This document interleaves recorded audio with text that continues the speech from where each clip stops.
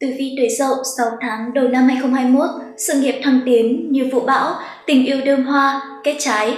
Xin chào quý vị, chào mừng quý vị đã quay trở lại với kênh Phong thủy Gia Cát, kênh thông tin hữu ích chuyên chia sẻ và truyền tải các kiến thức về tử vi, phong thủy và đời sống tâm linh.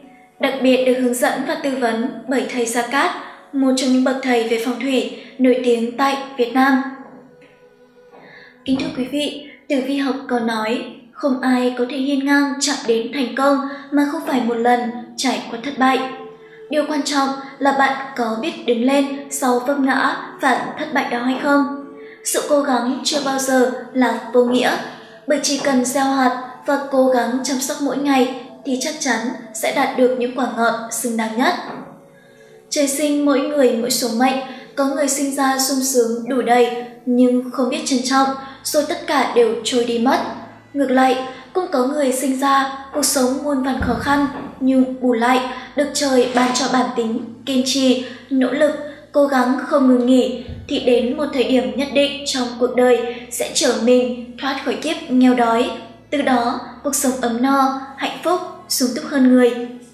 Mỗi giai đoạn trong cuộc đời sẽ có phúc họa, vui sướng, khổ đau được gieo đến và mỗi người đều có cách riêng để đón nhận.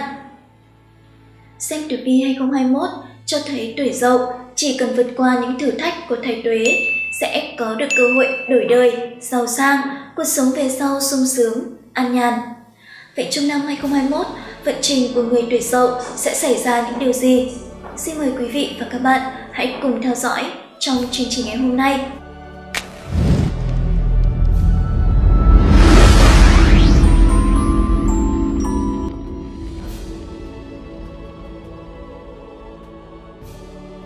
Đặc biệt, phần tử vi ngày hôm nay được luận giải bởi thầy Gia Cát và các chuyên gia hàng đầu với nhiều năm kinh nghiệm về tử vi và phong thủy.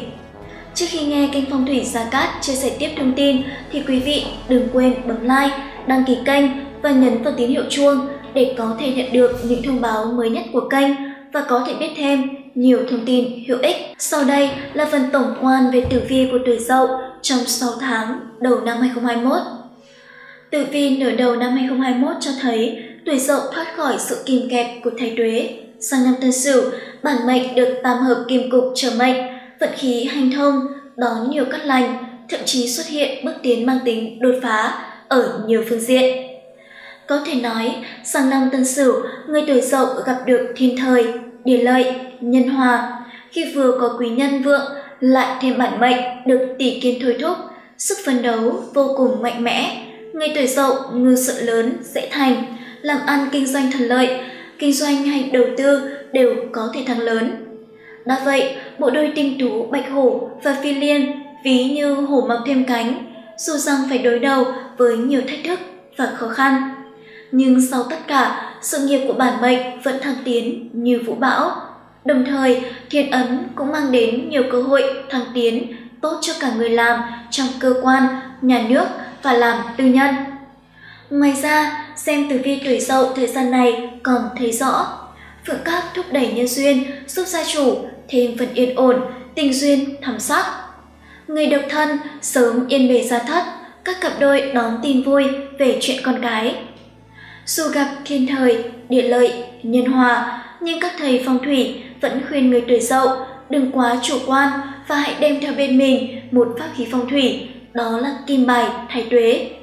Pháp khí sẽ giúp nghênh đón quý thần, hóa giải hung tinh, vận hạn và mang cát lành, may mắn, bình an cho bản mệnh trong năm tân sửu.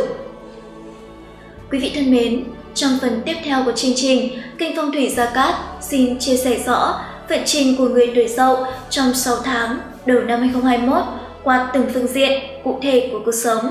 Thứ nhất, về sự nghiệp, quan vận. Sang năm tân sửu, sự nghiệp của người tuổi dậu như được vén màn mây mù che phủ, mà hanh thông, rực rỡ, mưu sự lớn nhỏ gì cũng gặt hái thành quả tốt đẹp. Quý nhân tam hợp nâng đỡ, bản mệnh phát huy được tài năng thiên bẩm, không ngừng nỗ lực phấn đấu, tham vọng thăng tiến mãnh liệt. Tỷ kiên xuất hiện vừa thôi thúc tinh thần phấn đấu, vừa gia tăng sức chịu đựng bền bỉ, phù hợp cho những ai đã và đang trên con đường khởi nghiệp. Trong thời gian này, còn vượng quý nhân, thiên ấn đại diện cho người quyền thế và trưởng bối giúp sức. Con đường thăng tiến của tuổi dậu thanh thang rộng mở. Lại thêm bộ đôi tinh tú, bạch hổ và phi liêm, ví như hổ mọc thêm cánh, dù rằng phải đối đầu với nhiều thách thức và khó khăn. Nhưng sau tất cả, người tuổi dậu vẫn đứng trên đỉnh vinh quang.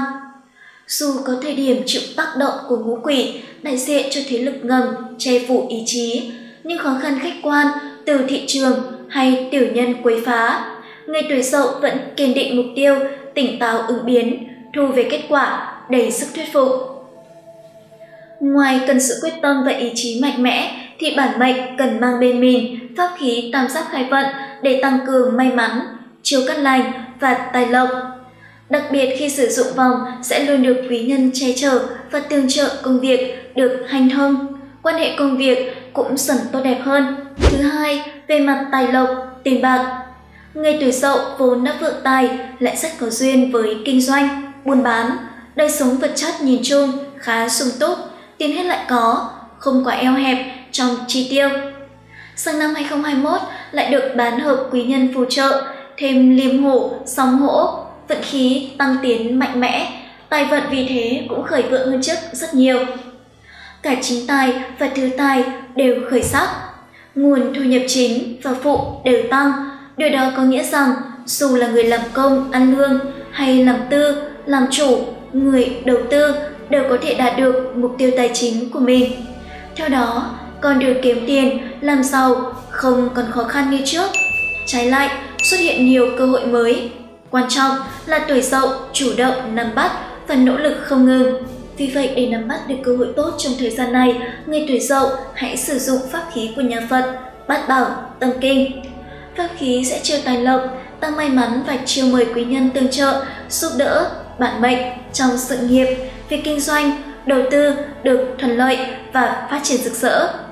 Đồng thời, pháp khí sẽ giúp bản mệnh xua đuổi những vận xấu, ảnh hưởng đến công việc và con đường làm ăn trong năm nay. Thứ ba, về tình cảm, gia đạo. Tử vi 6 tháng đầu năm 2021 tuổi dậu cho thấy cục diện tam hợp thái tuế mang tới nhiều niềm vui cho chuyện tình cảm của tuổi dậu trong thời gian này. Nhìn chung gia đạo yên ổn, ít chuyện phải cãi vã hay lo lắng, hoặc nếu xung đột xảy ra, đôi bên cũng nhanh chóng hòa giải, gia đình lại trong ấm, ngoài êm. Người độc thân dù không có sao đào hoa chiếu mệnh, nhưng lại được phượng cát tinh thúc đẩy, nhân duyên hài hòa, mang tới nhiều cơ hội tiếp xúc, gặp gỡ người ưng ý, sớm chọn được người phù hợp để yên bề gia thất. Các cặp đôi đang mong mỏi, chờ đợi có tin vui về con cái sẽ được toại nguyện trong năm tân sửu. Hỷ tín rất rõ ràng, phụ nữ mang thai có thể phải động chạm giao kéo. Cho nên, để kích hoạt vận đào hoa, tránh được những cuộc xung đột và cãi vã, thầy phong thủy khuyên người tuổi dậu hãy mang bên mình pháp khí tam giác hai vận, tỵ, dậu, sửu. Với năng lực tam hợp khí của vòng sẽ đả thông năng lượng ngưng tụ, thiên, địa, nhân, hóa giải xung khắc, mâu thuẫn với nửa kia, giúp gia đạo yên ấm, tình cảm phát triển và đi lên. Đồng thời, những người độc thân sẽ sớm tìm được đối tượng ưng ý trong năm tân sửu. Thứ tư, về mặt sức khỏe. Dưới tác động cát lành của tam hợp thái tuế, sức khỏe của tuổi dậu vốn đã tốt, nay lại thêm phần cát lành. Trong nửa đầu năm, bản mệnh sẽ ít đau ốm, có bệnh gặp thấy thuốc là nhanh khỏi.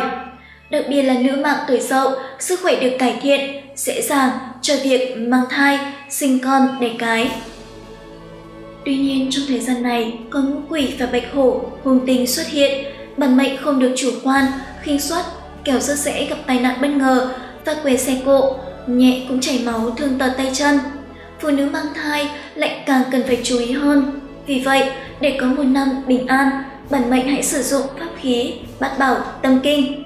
Vòng tay sẽ giúp bản mệnh xua đuổi hung tinh, vận hạn trong năm. Pháp khí cũng giống như một tấm bùa phù hộ bảo vệ bản mệnh suốt một năm 2021. Quý vị thân mến, trên đây là vận trình cụ thể của những gia chủ tuổi dậu trong 6 tháng đầu năm Tân Sửu. Tiếp theo, xin mời mọi người hãy cùng theo dõi chi tiết từng tuổi dậu trong thời điểm này để có thể hiểu rõ hơn. Đầu tiên là tử vi tuổi đinh dậu sinh năm 1957. Trong 6 tháng đầu năm Tân Sửu, các bác tuổi đinh dậu sinh năm 1957 gặp được cục diện tam hợp nâng đỡ, vận trình có nhiều chuyển biến tích cực. Các bác tuổi đinh dậu được quý nhân nâng đỡ nên có thể tìm được những dự án hợp tác tiềm năng, đối tác hợp chí hướng, công danh thành đạt. Nhưng trong thành công, may mắn chỉ là một phần, chủ yếu vẫn phải dựa vào năng lực của chính các bác. Chỉ cần các bác chủ động giành lấy cơ hội cho bản thân thì ngày đổi vận chẳng còn xa. Hơn nữa sự chủ động cũng giúp các bác giảm bớt được khá khá áp lực lớn nhỏ. Thứ hai là tử vi tuyệt kỳ dậu sinh năm 1969. Bước sang năm 2021, sử dụng bách hợp lại thêm tuế can kỷ thổ tương sinh tân kim mang tới cho cô chú tuổi kỳ dậu một khoảng thời gian dài hứa hẹn rất nhiều thành công. Công việc có cảm giác thuận lợi hơn, có nhiều không gian phát triển và thăng tiến trong sự nghiệp. Tài vận cũng rộng mở nhờ các khoản lợi nhuận thu về từ các dự án hợp tác. Vận quý nhân trong thời gian này khá vượng, cô chú tuổi kỷ dậu mạnh dạn, mưu sự lớn sẽ được hỗ trợ nhiều về cả tinh thần lẫn tài chính. Hơn nữa nhân duyên thời điểm này khá tốt, bản mệnh còn có thể gặp được những người bạn có trợ giúp rất lớn cho sự nghiệp. Thứ ba là tử vi tuổi Tân Dậu, sinh năm 1981. Tử vi nửa đầu năm 2021 còn nói rằng cục diện bán hợp thành kim cục mang tới nhiều cải thiện tích cực trong sự nghiệp của anh chị tuổi Tân Dậu, sinh năm 1981. Dự án hợp tác suôn sẻ, có quý nhân tương trợ, được bạn bè người thân giúp đỡ hết mình. Tài chính trong thời gian này cũng được nâng cao, cắt khí mang tới nhiều nguồn lợi và cả cơ hội đầu tư, hợp tác làm ăn cho anh chị. Ngoài ra, bản thân tuổi tân dậu trong thời điểm này vẫn cần có sự chủ động nhất định, tích cực, tự thân phấn đấu để có những bước đột phá trong sự nghiệp hoặc những kế hoạch mà mình đang theo đuổi. Thứ tư, Quý Dậu 1993 Xét về tương quan thái tuế, năm nay các bạn Quý Dậu gặp cục diện bán hợp kim cục, tuế can tân kim tương sinh quý thủy, báo hiệu một năm nhiều đổi mới, nhiều cơ hội phát triển đang chờ đón. Sự nghiệp có nhiều cơ may, thăng tiến, có lợi cho các hạng mục, dự án hợp tác, mưu sự được quý nhân chỉ đường và nâng đỡ nên dễ thành công hơn. Đồng thời trong thời gian này, các bạn có nhiều cơ hội giải tỏa áp lực tinh thần như đi du lịch, tham gia các hoạt động vui chơi giải trí hoặc ẩm thực. Quý vị thân mến, trong phần cuối của chương trình, xin mời mọi người hãy cùng tìm hiểu khung các từng tháng của tuổi Dậu trong vận trình nửa đầu năm 2021. Tháng 1 âm lịch Ngay từ tháng riêng, tuổi Dậu sẽ cảm nhận khá rõ những chuyển biến tích cực trong vận trình của mình, đặc biệt là ở phương diện sự nghiệp và tài lộc. Cơ hội thăng tiến đang rộng mở trước mắt, thu nhập nhờ vậy được cải thiện, cho nên mệnh chủ cần chú ý nắm bắt cơ hội kịp thời. Tuy nhiên khối lượng công việc tăng lên khiến bản mệnh phải vất vả hơn rất nhiều. Cơ thể vì thế có dấu hiệu lao lực. Phương diện sức khỏe của bản mệnh trong thời điểm này cũng không có lý tưởng. Nên nhớ việc kiếm tiền quan trọng thật đấy, nhưng bản mệnh cũng không nên bỏ qua việc chăm sóc bản thân.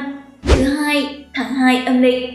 Cục diện tương xung xuất hiện trong tháng 2 âm lịch báo hiệu những điều suy xẻo, đe dọa vận trình của tuổi dậu. Mưu sự khó thành, có điểm báo tranh chấp, bản mệnh nên cẩn trọng trong từng hành động của mình. Tài vận trong tháng có dấu hiệu xa sút do bị nhiều hung tinh chủ vé hao tài chiếu mệnh. Vốn dĩ thu nhập tháng này không có khởi sắc, nhưng nhu cầu chi tiêu mua sắm tăng cao, các khoản tích cóp cũng bị lấy ra dùng cạn. Thói quen tiêu xài không có kế hoạch gây ra gánh nặng kinh tế cho chính bản mệnh. Do đó, điều quan trọng trong tháng này đó là bản mệnh phải tiết kiệm để cuộc sống bớt áp lực. Tử vi tháng 3 âm lịch Tuổi dậu vốn giàu tham vọng, nhiệt huyết với công việc nên bản mệnh luôn sông pha không ngừng nghỉ. Tháng 3 này là thời điểm để bản mệnh phấn đấu, tiến tới sự đột phá. Lại thêm lục hợp nâng đỡ, với bản lĩnh sẵn có, đầu óc biết tính toán, bản mệnh sẽ đạt được những bước thăng tiến đáng kể, khiến đồng nghiệp và cấp trên dành nhiều lời tán dương, thậm chí là ngưỡng mộ.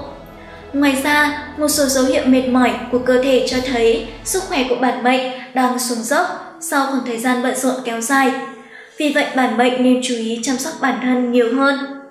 Thứ tư, tử vi tháng tư âm lịch. Trong tháng này, nhờ có tam hợp che chở mà công danh sự nghiệp của người tuổi dậu có nhiều chuyển biến tích cực. Công việc có nhiều đột phá và được quý nhân giúp sức, sớm giành được thành quả khả quan. Hơn nữa vì luôn chọn đường đầu thách thức để tìm ra cơ hội phát triển, bản mệnh đang đi đúng hướng. sự chăm chỉ và nỗ lực trước đó của bản mệnh đem về kết quả xứng đáng, mở ra cơ hội thăng quan, tiến chức. Tử vi tháng 5 âm lịch, vận trình của tuổi dậu không được khả quan, nguyên nhân chủ yếu là do tài vận kém, thu nhập giảm sút mà nhu cầu chi tiêu mua sắm tăng hơn trước nên tiền bạc thất thoát nhanh chóng. Do đó, áp lực kinh tế đương nhiên sẽ gia tăng, thậm chí bản mệnh có thể đối mặt với nguy cơ nợ nần trồng chất nếu không sớm điều chỉnh lại thói quen chi tiêu của bản thân. Thứ sáu, tháng 6 âm lịch.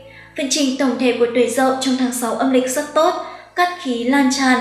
Trong tháng này, công việc không chỉ khởi sắc mà thu nhập cũng tăng lên, có người thậm chí còn được thăng quan, tiến chức.